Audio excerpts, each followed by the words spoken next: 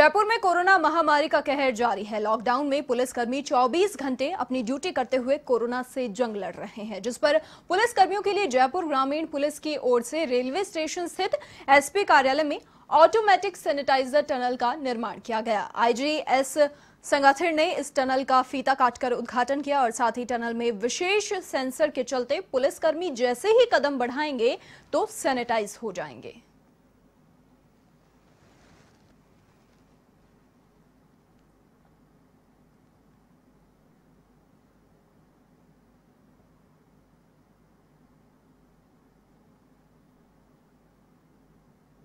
मुख्य रूप से कोविड 19 से लड़ने के लिए पूरा फुल बॉडी सैनिटाइजेशन होना ज़रूरी है।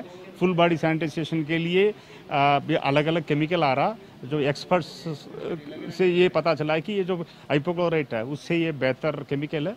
इससे नुकसान कम है, फ़ायदा ज़्यादा है और ज़्यादा इफ़ेक्टिव है। इसलिए इसको एस पी ऑफ़िस में इस्तेमाल कर रहे हैं।